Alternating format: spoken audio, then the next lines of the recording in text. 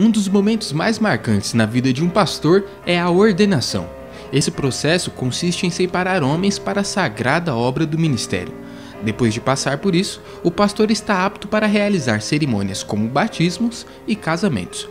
Quem já viveu esse momento algum tempo atrás afirma com certeza de que a ordenação marca a vida de qualquer pastor.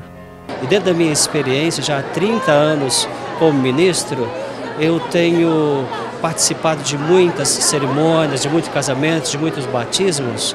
Tudo isto é, não somente pela vocação, mas pela imposição de mãos e pela colocação do Espírito Santo em minha vida.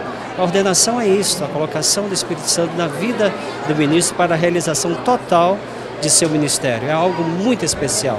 Antes de serem ordenados, os pastores passam por um exame para a avaliação dos candidatos.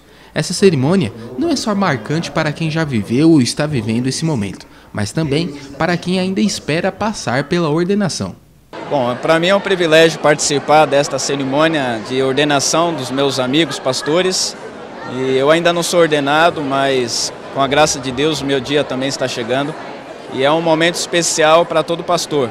É o sonho, é a concretização do chamado, é o momento mais especial depois do chamado que Cristo faz ao pastor. Participa da cerimônia também a esposa do pastor, porque a ordenação não afeta só o candidato, mas toda a família um momento muito especial para quem está sendo ordenado. Olha, é muita emoção, felicidade e esse senso de responsabilidade, tudo misturado, o carinho dos irmãos que vieram prestigiar essa cerimônia tão linda e emocionante para a gente. É um presente de Deus realmente, a confirmação do chamado. Sentimento de realização, de muita felicidade, sentimento de consagração de que Deus realmente nos ama muito. Ama aqueles que abraçam o ministério e também aqueles que nós com quem vamos trabalhar. Então eu estou muito feliz mesmo.